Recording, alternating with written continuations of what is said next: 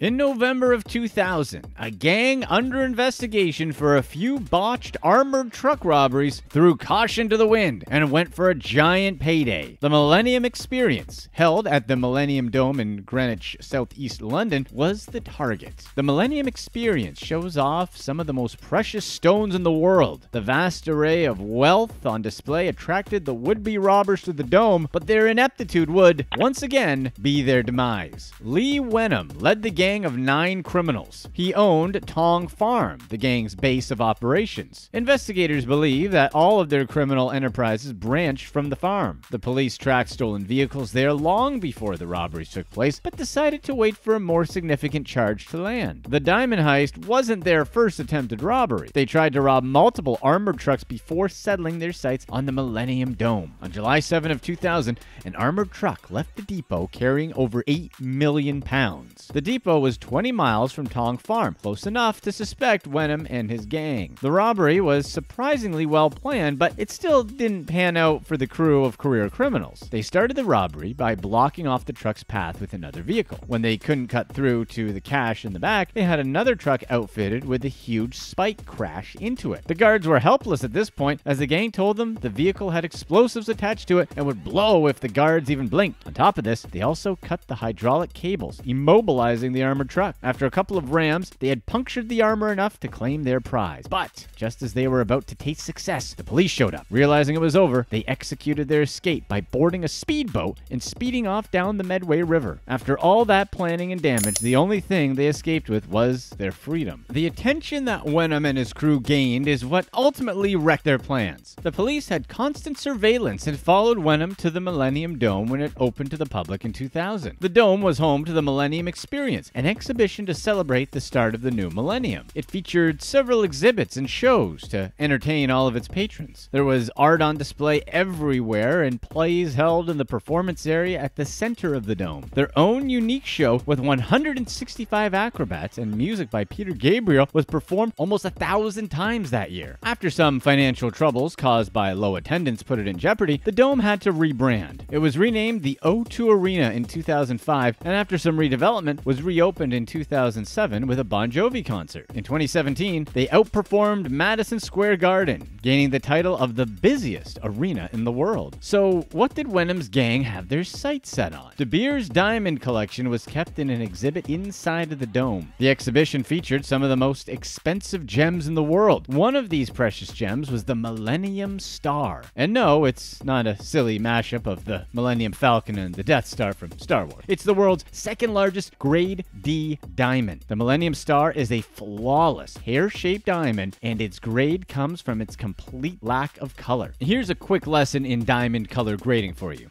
D is the highest grade a diamond can be. That means it's completely colorless. Most diamonds contain a faint yellow tint. The more prevalent the tint, the lower the grade. The Millennium Star is insured for an astonishing $100 million, making it a prime target for the would be jewel thieves. But the star wasn't the only precious stone in the building. The exhibit also included 11 blue diamonds, one of which was the Heart of Eternity. The heart exists in a class of rare colored diamond. The De Beers Group purchased these gems over the years to add to their collection. De Beers is an international corporation that specializes in all things diamond. They have their hands in everything from the mining process to the retail part of the industry. Founded in 1888, the De Beers Group controlled over 80% of the diamond business and kept the monopoly going until the 21st century. The monopoly has since crumbled to competition, and De Beers now controls about 30% of the world's diamond market today. The police hadn't taken their eye off of Wenham and his crew since their previous attempted robberies. This attention followed them to the Millennium Dome after police got a tip of the upcoming robbery. London's Metropolitan Police had one of the most profitable robberies in history under their surveillance, entrusting the case to the Flying Squad, a specialist unit also known as the Robbery Squad. The Flying Squad is a branch of the Serious and Organized Crime Command and focuses solely on robberies. With their eagle eyed precision, the robbery was doomed to fail before it ever began. There were a lot of unknown variables at the start of their investigation. They didn't know a lot about the thieves' plan, but they were sure about one thing what the target was. The Flying Squad knew that the Wenham gang would go after the priceless jewels. To make sure they didn't get nabbed due to something unforeseen trick, the Flying Squad kept an ace up their sleeves, but we'll reveal that later. Under constant surveillance, it was easy for the police to piece the Wenham gang's plan together. They were seen in the water across from the dome practicing with a speedboat, proving that they would make their getaway on the Thames River. The flying squad determined what days the robbery might be attempted. With this knowledge, they were able to alert the dome's management and set up preventative operations. The attempts began at the start of October. They aborted their first attempt after their getaway speedboat malfunctioned. The second attempt came right after the first, but was called off because the tide was too low. After analyzing all of their activities on top of their failed attempts, the investigators realized the crew would make their escape at high tide. With this knowledge in hand, they determined when the robbery would be attempted again by watching for high tide. The gang's plan was like the opening scene of a superhero movie. A semi-coordinated gang of would-be thieves crashes through the walls and goes in loud. On November 7 at 9:30 a.m., the quiet morning was disrupted by a modified JCB Earth Digger, which is like a backhoe, crashing through the wall of the Millennium Dome. Four gang members, decked out in body armor and gas masks, rode the battering ram through the wall. These members were Aldo Ciarrocchi, Raymond Betson, William Cockram, and Robert Adams. They drove the JCB right up to the money zone and went straight in. Once they made it inside, the gang all played their parts. Ciarrocchi started throwing out smoke bombs, while Cockram went straight for the reinforced glass protecting the gems. The glass was very strong and capable of withstanding a 60 ton ram, but the gang had planned for this. Cockram had a very high powered nail gun that was popular in jewelry robberies at the time. He used it to punch three holes in the glass, weakening it so that Adams could smash it in with his sledgehammer. It must have seemed like everything was going smoothly to the Wenham gang, right up until they were swarmed by police in order to put their hands up. Had they snatched the jewels, they planned to escape in the waiting speedboat, riding the Thames River all the way to a multi million dollar payday. Remember that ace up their sleeve? Well, before the gang got anywhere near the Millennium Dome, the flying squad replaced all the diamonds with replicas. If the robbers escaped, they'd be holding bags full of fake diamonds. So we wonder why not let them take the fake diamonds and arrest them once they were all in the speedboat? The plan to stop the robbery was called Operation Magician. The police were beyond prepared for these criminals and quickly stopped their plan with no casualties. They had replaced all the dome employees with armed officers and waited for the gang to make their move. Once the chaos started, the officers' first priority was to deal with the grenade tosser and the driver of the JCB, surrounded the machine, and ordered Raymond Betson to get down. Betson stepped down from the JCB. He said that he didn't have anything to do with the robbery and worked at the dome. However, the police saw right through the man's blatant lie and arrested him. With two members in custody, the officers needed to apprehend the other two trying to break the glass. They did so by tossing stun grenades in the room and swarming the two criminals in full tactical gear. With that smooth arrest, Operation Magician was a success. Millman, the speedboat driver, was scooped up on the dock by an ambush team before he even knew it was happening. Of course, with all the evidence piling up, the police went and picked up Wenham later that day. Like